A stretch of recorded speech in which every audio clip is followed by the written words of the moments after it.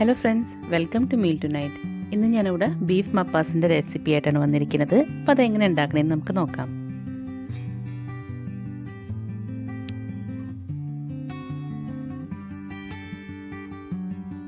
അപ്പം ഞാനിവിടെ വേലാണ് എടുത്തിരിക്കുന്നത്. അപ്പോൾ അത് നമുക്ക് ആദ്യം തന്നെ ഒന്ന് വേവിക്കാൻ വേണ്ടി കുക്കറിലോട്ട് ഇട്ട് കൊടുക്കാം. അതിലേക്ക് ഞാൻ ആവശ്യത്തിന് ഉപ്പും മഞ്ഞൾപ്പൊടിയും പിന്നെ കുറച്ച് വെള്ളവും കൂടിയാണ് ഒഴിച്ചെടുത്തിട്ട് വേവിക്കുന്നത്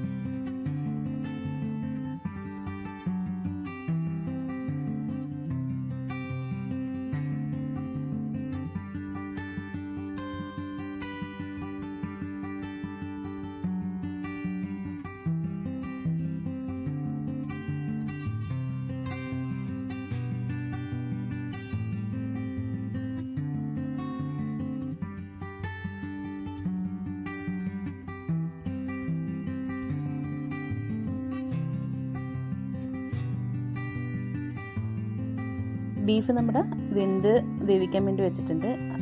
ഇനി നമുക്കൊരു വേറൊരു പാനിലേക്ക് കുറച്ച് ഓയിൽ ഒഴിച്ച് കൊടുക്കാം. അതിലേക്ക് ഞാൻ ഇവിടെ രണ്ട് വലിയ സവാള കട്ട് ചെയ്ത് നീളത്തിൽ കട്ട് ചെയ്തെടുത്തിട്ടുണ്ട്.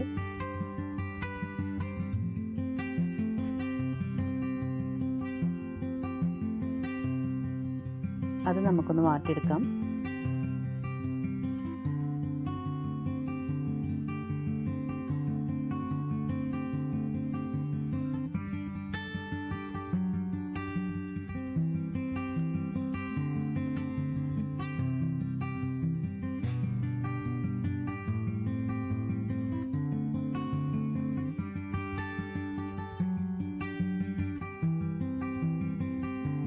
അതിലേക്ക് ഞാൻ വെളുത്തുള്ളി ചെറുതായി അരിഞ്ഞത് അതേപോലെ തന്നെ ഇഞ്ചിയും ചെറുതായി അരിഞ്ഞത് അതും കൂടി ഇട്ട് കൊടുക്കേണ്ടത് നമുക്കിപ്പോൾ ഇത് എങ്ങനെ അരിഞ്ഞാലും കുഴപ്പമില്ല. കാരണം നമുക്കിത് വാട്ടിയിട്ട് ഇതിന്റെ ഒന്ന് ഗ്രൈൻഡ് ചെയ്ത് പേസ്റ്റ് ആക്കാമെന്നുള്ള ഉള്ളതാണ്.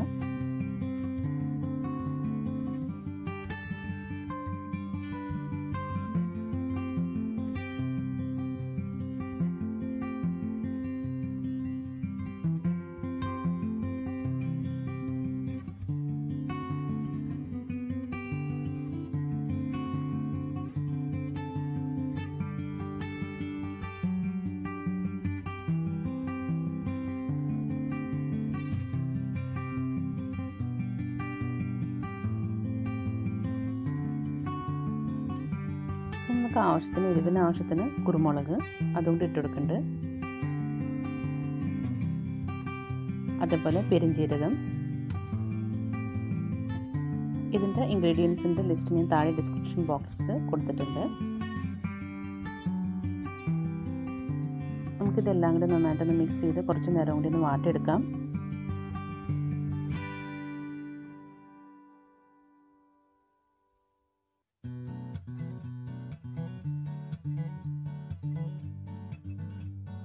അതിലേക്ക് ഞാൻ ഒരു ടേബിൾ സ്പൂൺ മല്ലിപ്പൊടി ഇട്ട് കൊടുക്കുന്നുണ്ട്.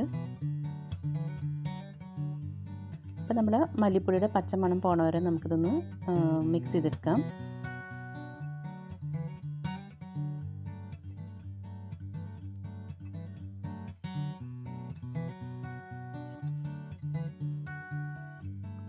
അതേപോലെ തന്നെ ഞാൻ കുറച്ച് ഗരം മസാല വീട്ടിൽ പൊടിച്ച ഗരം മസാലേനെ അതും കൂടി ഇട്ട് കൊടുക്കുന്നുണ്ട്.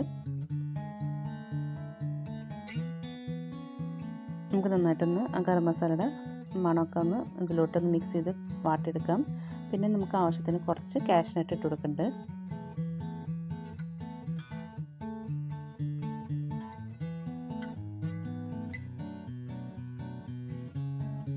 ഇനി ചെറുതായിട്ടത് നനവിന് വേണ്ടി മാത്രം ഞാൻ കുറച്ച് ഒരു രണ്ട് മൂന്ന് ടീസ്പൂൺ വെള്ളം ഒഴിച്ചു കൊടുക്കുന്നുണ്ട്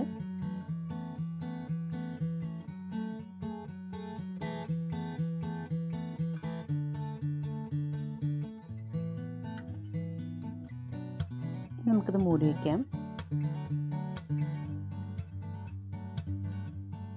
ഇനി നമുക്ക് ഈ മിക്സർ നമ്മുടെ മിക്സിയുടെ ജാറിലേക്ക് തണുത്തതിന് ശേഷം നമുക്ക് മിക്സിയുടെ ജാറിലേക്ക് ഇട്ട് കൊടുത്തിട്ട് നമുക്കിതൊന്ന് പേസ്റ്റ് ആക്കി എടുക്കണം. ഒന്ന് അരച്ചെടുക്കണം. ഇതേപോലെ ഒന്ന് മിക്സിയുടെ ജാറിലേക്ക് ഇട്ടിട്ട് പേസ്റ്റ് ആക്കി എടുക്കുന്നുണ്ട്. സെയിം പാനിലേക്ക് തന്നെ നമുക്ക് കുറച്ചും കൂടി ഓയിൽ ഒഴിച്ച് കൊടുക്കാം.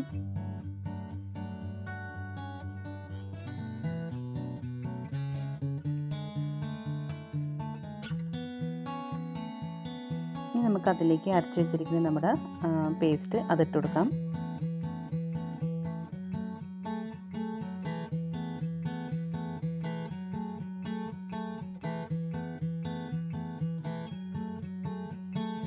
ഇനി നമുക്ക് ഗ്രേവിക്ക് ആവശ്യമുള്ള അത്ര വെള്ളം തന്നെ നമുക്ക് കുറച്ച് ഒഴിച്ചു കൊടുക്കാം. നമുക്ക് ഗ്രേവി എത്ര വേണ്ടതെന്ന് വെച്ച് കഴിഞ്ഞാൽ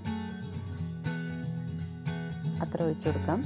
അതേപോലെ തന്നെ നമുക്ക് എരിവിന് ആവശ്യത്തിന് കുറച്ച് പച്ചമുളകും കറിവേപ്പിലയും അതുപോലെ ഒരു തക്കാളി ചെറുതായി അരിഞ്ഞത് അതും കൂടി ഇട്ട് കൊടുക്കാം.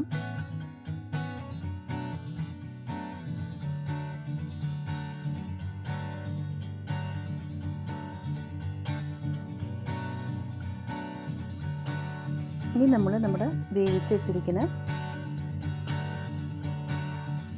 ബീഫിൽ നിന്ന് കുറച്ച് വെള്ളം അതും കൂടി ഇതിൽ ഒഴിച്ച് കൊടുക്കുന്നുണ്ട്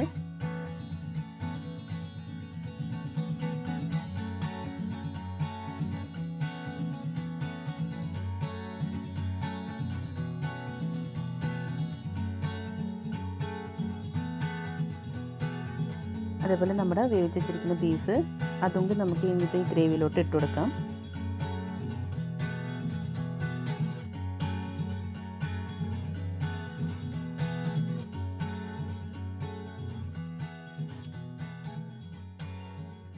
എന്നിട്ട് നമുക്ക് നന്നായിട്ടൊന്ന് മിക്സ് ചെയ്തിട്ട് ഇതൊരു പത്ത് മിനിറ്റ് നമുക്ക് മൂടി വെച്ച് ചെറുതീയിലൊന്ന് തിളപ്പിച്ചെടുക്കാം.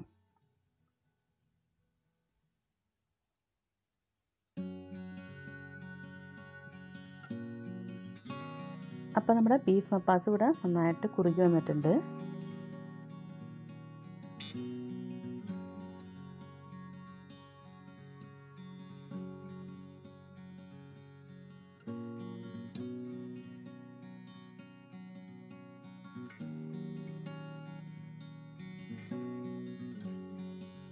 അതിലേക്ക് ഞാൻ ഒരു ടേബിൾ സ്പൂൺ തിക്കായിട്ടുള്ള കോക്കനട്ട് മിൽക്ക് ഒഴിച്ചു കൊടുക്കുന്നുണ്ട്.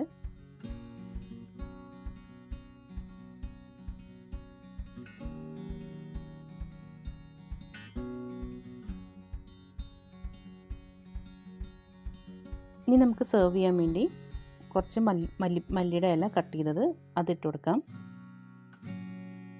നമ്മൾ പച്ച മല്ലിയുടെ ഇല ഇട്ട് കൊടുക്കുമ്പോൾ നല്ലൊരു ഫ്ലേവറും നല്ലൊരു ടേസ്റ്റ് ആയിരിക്കും. നല്ലൊരു മണമൊക്കെ വരുന്നുണ്ട്.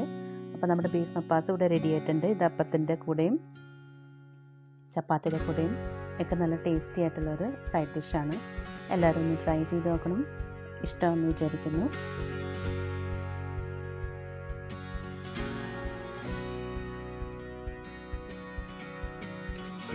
ಇಷ್ಟ ಆಯ್ತು ಅಂದರೆ ಲೈಕ್ ಶೇರ್ ಸಬ್ಸ್ಕ್ರೈಬ್ ಕೂಡಾದರೆ ಬೆಲ್ ಬಟನ್ ಪ್ರೆಸ್ ಮಾಡಿ ಮಾಡ್ಕೊಬೇಕು ಥ್ಯಾಂಕ್ ಯು